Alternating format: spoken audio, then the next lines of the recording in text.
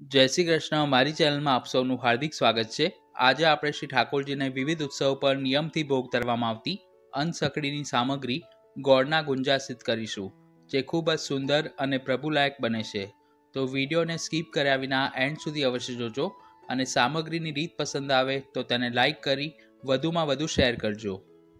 ગુંજા સિદ્ધ કરવા માટે સૌપ્રથમ આપણે મેદાની કણક તૈયાર કરીશું. તેના માટે એક પોળા વાસણમાં એક કપ એટલે કે સવાસો ગ્રામ જેટલો ચાળેલો મેંદો લઈ, તેમાં ત્રણથી ચાર ચમચી જેટલું ગરમ કરેલા ઘીનું મોણ કરી, મેંદાને હાથ વડે સરખી રીતે મોઈ લઈશું. ગુંજાનું બહારનું પડ એકદમ ખસ્તા કરવું હોય, તો મોણ મુઠ્ઠી પડતું લેવું જરૂરી છે. નિયમ પ્રમાણે, તેનું બહારનું પડ મેંદાનું જ બને છે, પણ તમે મેંદાના બદલે ઘઉંના ઝીણા લોટનો પણ ઉપયોગ કરી શકો છો. આ રીતે મુઠ્ઠી પડતું ઘીનું મોણ કર્યા બાદ તેમાં જરૂર મુજબ થોડું થોડું જલ પધરાવતા જઈશું અને હાથ વડે મિક્સ કરી વધુ કઠણ પણ નહીં અને વધુ નરમ પણ નહીં, તેઓ પરોઠા જેવો મીડિયમ સોફ્ટ લોટ બાંધીને તૈયાર કરીશું. એક સાથે વધારે પ્રમાણમાં જલ ન કરવું, નહીંતર મેંદો જો ઢીલો બંધાશે, તો ગુંજાની પૂરી વણવામાં અને ભરવામાં તકલીફ પડશે. લોટ જો કઠણ બાંધશો, તો ગુંજાને તળતી વખતે તે ખુલી જવાની શક્યતા રહે છે આટલી કણક તૈયાર કરવામાં અડધા કપ જેટલા જલનો ઉપયોગ થાય છે. હવે બાંધેલી કણકને ઢાંકીને પંદર મિનિટ માટે રેસ્ટ આપીશું. સ્ટફિંગ બનાવવા માટે એક જાડા તળિયાવાળી કડાઈમાં બે ચમચી ઘી લઈ તેને ગરમ કરીશું. ઘી હુંફાળું ગરમ થાય એટલે તેમાં અડધો કપ ઘઉંનો જાડો લોટ પધરાવી ઘીની સાથે મિક્સ કરી લોટમાં રહેલી કચાશ દૂર થાય ત્યાં સુધી સાતથી આઠ મિનિટ માટે ધીમી આંચે શેકી લઈશું. આ સામગ્રીનું સ્ટફિંગ બનાવો ત્યારે જે ચૂરમાના લાડવા કે લાપસીમાં વપરાતો ઘઉંનો જાડો લોટ જ લેવો, રવો ન લેવો.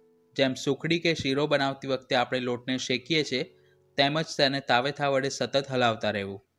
સ્ટફિંગને શેક્યા પછી તેને ગુંજામાં ભરવાનું હોવાથી શેકવામાં ઘીનો ઉપયોગ વધુ પ્રમાણમાં ન કરવો, નહીંતર લોટ શેકાશે, તેમ તેમાંથી ઘી છૂટું પડશે અને પ્રમાણમાં નરમ બનશે. ઘઉંના જાડા લોટને સાતથી આઠ મિનિટ સુધી શેક્યા બાદ તે ફૂલીને થોડો બદામી રંગનો અને વધુ દાણેદાર થઈ ગયો છે. આ સ્ટેજ પર ગેસ બંધ કરી દઈશું. કઢાઈ ગરમ હોવાથી લોટને બેથી ત્રણ મિનિટ માટે તાવેથા વડે સતત હલાવતા રહીશું, જેથી તે કઢાઈના તળિયે ચોંટી ન જાય. લોટ બિલકુલ કાચો ન રહે કે ઓવરકુક ન થાય તેનું ખાસ ધ્યાન રાખવું. હવે કઢાઈને ગેસ ઉપરથી નીચે ઉતારી, શેકેલો લોટ નવશેકો ગરમ રહે ત્યાં સુધી તેને દસથી પંદર મિનિટ માટે રૂમ ટેમ્પરેચર પર ઠંડો થવા દઈશું.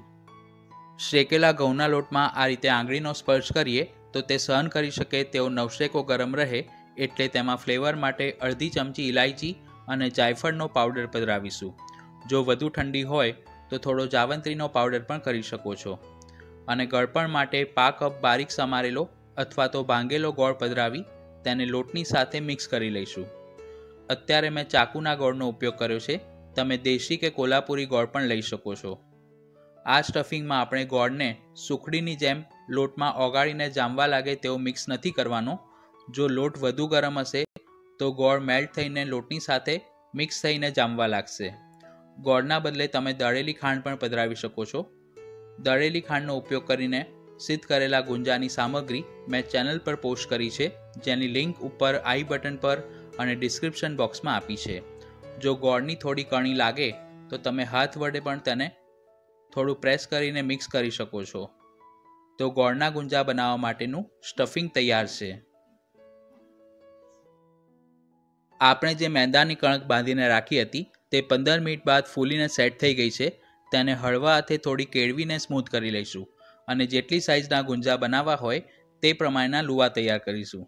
પુષ્ટિમાર્ગમાં મોટાભાગની બધી સામગ્રીના નામ વ્રજ ભાષામાં છે, એટલે ગુગરાને વ્રજ ભાષામાં ગુંજા અને હિન્દીમાં ગુજિયા કહેવાય છે.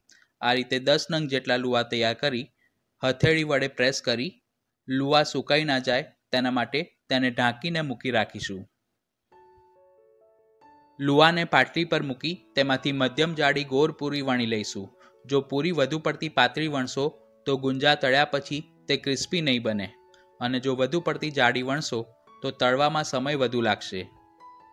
ગુંજા સરખી રીતે સીલ થાય, તેના માટે પૂરી વણ્યા પછી આંગળી વડે તેની કિનારી ઉપર થોડું જલ લગાવીશું.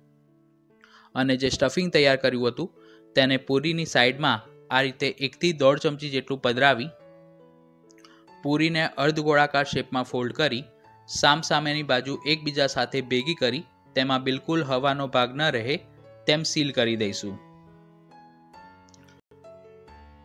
પછી આંગળી અને અંગૂઠાની મદદથી તેની કોર ગૂંથી લઈશું, એટલે કે તેના પર કાંગળી પાડી લઈશું.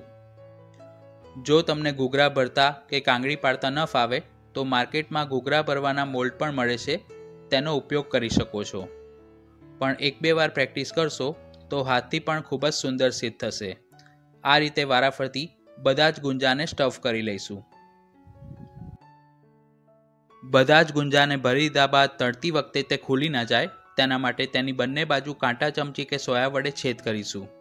જો તમે વધારે ક્વોન્ટિટીમાં ગુંજા સિદ્ધ કર્યા હોય, તો તેને કપડાં વડે ઢાંકીને મૂકી રાખવા જેથી પવનના લીધે તે સુકાઈ ના જાય. હવે તેને તળવા માટે કડાઈમાં ઘી ગરમ કરવા માટે મૂકીશું. આ અનસખડીની સામગ્રી હોવાથી મોણમાં તથા તળવામાં ઘીનો જ ઉપયોગ કરવો. કડાઈમાં જરૂર મુજબ ઘી લઈ તેને ધીમી આંચે ગરમ કરીશું. ઘી મધ્યમ ગરમ થાય એટલે કડાઈમાં સમાય તેટલા ગુંજા તેમાં પધરાવી તે બંને બાજુથી ગોલ્ડન બ્રાઉન અને ક્રિસ્પી થાય ત્યાં સુધી તળી લઈશું. ગુંજાને કડાઈમાં પધરાવો, પછી બે મિનિટ સુધી તેના પર ઝારાનો સ્પર્શ ન કરવો નહીંતર તે કાચા હોવાના લીધે ખંડિત થઈ શકે છે. તે બધી બાજુથી સરખા સીજે, તેના માટે તળતી વખતે ચમચી વડે તેના ઉપર ઘી પધરાવતા જવું. ગુંજા નીચેની બાજુથી થોડા ગુલાબી રંગના થાય, એટલે ચમચી વડે થોડી થોડી વારે તેને ફેરવતા જવું. એકવાર ગુંજાને તળવામાં લગભગ સાતથી આઠ મિનિટ જેટલો સમય લાગે છે. તળતી વખતે ગેસની ફ્લેમ સ્લો જ રાખવી, નહીતર તે બહારથી લાલ થઈ જશે અને અંદરથી કાચા રહેશે. આ સિવાય શ્રી ઠાકોરજીને ભોગ ધરી શકાય તેવા ખોવાના ગુંજા, તુવેરના લીલવાના, સુરણના અને કોપરાના ગુંજાની સામગ્રી મેં ચેનલ પર પોસ્ટ કરી છે, જેની લિંક આઈ બટન પર અને ડિસ્ક્રિપ્શન બોક્સમાં આપી છે. ગુંજાને સાતથી આઠ મિનિટ સુધી તળ્યા બાદ તે બધી બાજુથી સરસ ગોલ્ડન બ્રાઉન અને ક્રિસ્પી થઈ ગયા છે.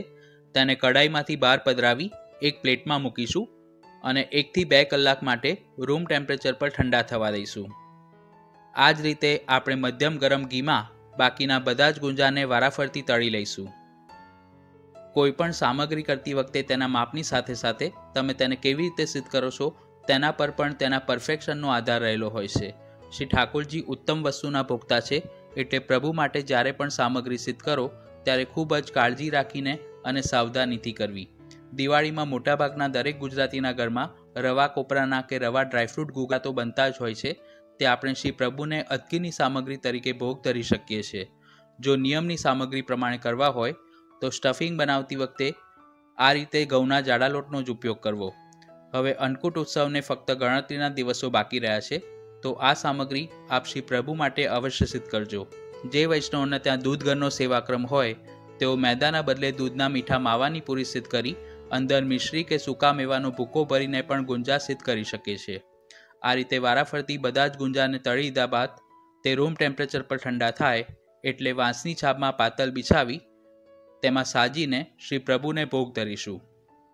સામગ્રીની રીત સમજાવવામાં કે પ્રસ્તુત કરવામાં મારાથી કોઈ પણ પ્રકારની ભૂલ થઈ હોય તો મને ક્ષમા કરજો. ચેનલ પર પહેલી વાર આવ્યા હો તો આવી પ્રભુલાયક સામગ્રી તથા સાત્વિક રેસિપીના વિડીયોઝ જોવા માટે ચેનલને સબસ્ક્રાઇબ કરી બાજુમાં આપેલા બેલ આઇકોન પર ક્લિક કરજો.